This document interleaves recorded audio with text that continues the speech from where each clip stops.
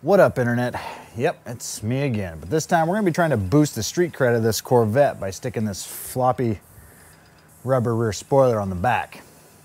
Stay tuned, as they say, I guess. Here's the truth. Like everyone else, I think the GM did a really good job at designing the outside of the C5 Corvette. But on the fixed roof coupes like the Z06, instead of a large glass hatch area, they have a trunk lid, which is this big, flat, expansive area with nothing to really break up the space. That's where I'm hoping that the spoiler is going to come into play and solve that issue. On top of that, this thing should be pretty easy to install. There's no hardware to fasten or holes to drill. It's just this double-sided tape that you peel off and it just kind of sticks on. But before we can get started with the installation, we're gonna take a couple crucial measurements to make sure we can center this rear spoiler in the back of the car. What up, bro? Like my dad always said, measure twice, stick your spoiler on there once. Actually, I'm full of shit. He didn't actually say that. I'll be sharing these measurements with you so you can reference them when you do yours.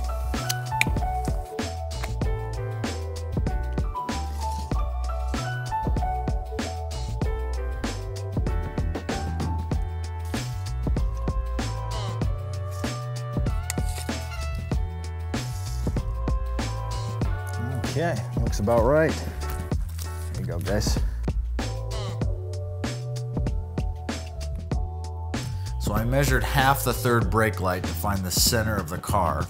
Then I threw some tape down on the spoiler, cut that measurement in half to find the center of the spoiler, made a line there. You're welcome. Throw the two on the car, make sure they're lined up, and bam.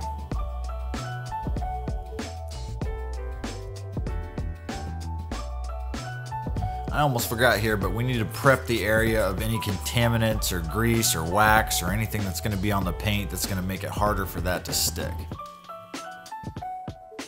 Hey, Bubba. Wanna see something my own? No. Okay, you can show me. Yeah, something like that.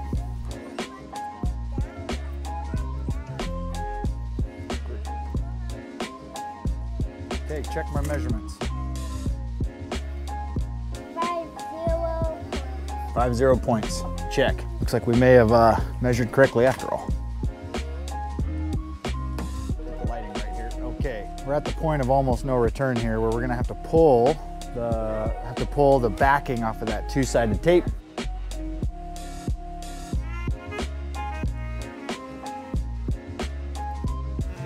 Break. Oh, boo!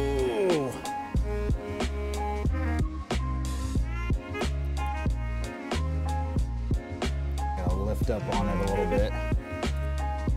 I wanna make sure to put some pressure on that edge because that does seem like it's gonna wanna lift.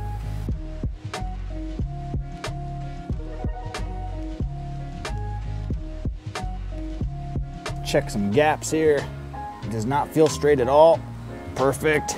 Now we just got the front, the front sticky tape to pull and this thing's on there, baby. That sounded aggressive.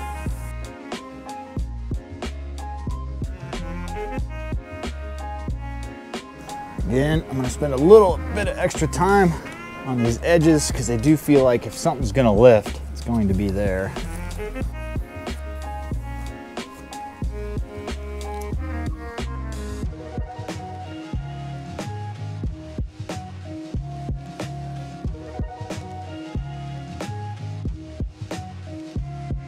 All right, internet, that was my attempt at installing the Spoiler King 380p. I think it went all right. Uh, hopefully you guys enjoyed it. If you did like the video, leave a like, subscribe, do all that stuff that people tell you to do. If you didn't like it, let me know too. Let me know things that I might be able to change to do the next one better. Anyways, hope you like it. See you on the next one. Bye.